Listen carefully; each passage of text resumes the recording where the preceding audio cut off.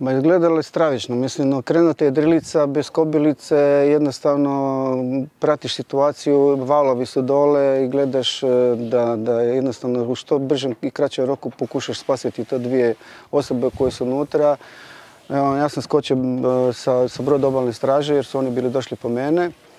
E, skočio sam u vodu, jednostavno kad sam došao tamo imao sam šta vidjeti, jedro je bilo otvoreno, znači imali su veliki okret, špaga je bilo ne znam koliko broja, došao sam do kabine, pokušao sam nekako uspostaviti kontakt sa unesrećenima i jednostavno nakon ne znam koliko, ja ne znam, vremenski nisam ni gledao koliko šta, ja sam samo čupao vani da, da pokušam otvoriti otvor da bi mogao doći do njih i nekako samo sam primijetio u jednom trenutku u jednom kutu nečiju ruku. Ja sam tu ruku zgrabio i, ovoga, i tako je krenula cijela ta priča.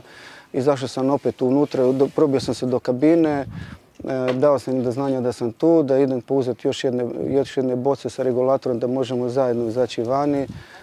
Iz broda su mi dodali tu, tu opremu, vratio sam se ponovo unutra.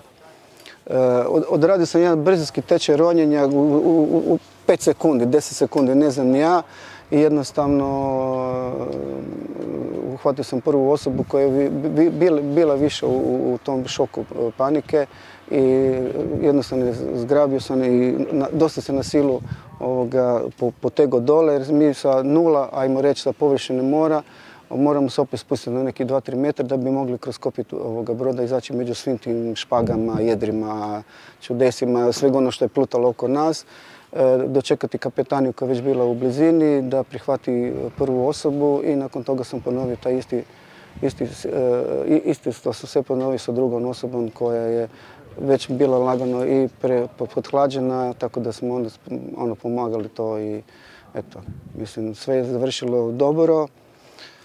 Pa šok je bio jako velik. Normalno je samim tim kad osoba izađe vani na, na, površinu da, da dobije još jedan već, već ajmo reći, simulacijski motivaciju za šokom. Ne?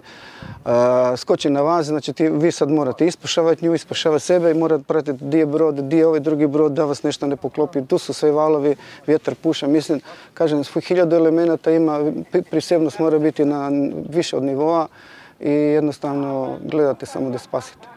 Ja kažem, ja mogu samo prepostavkom nekom, jer kažem, ja kad sam došao na, na, na lice mjesta nisam vidio e, da, da, ima buma, odnosno da nema kobilice, tako lako moguće da, kako su oni plovili po noći, da, da se jednostavno trupci ne vide i jednostavno dobiju udarac i otpale kobilica.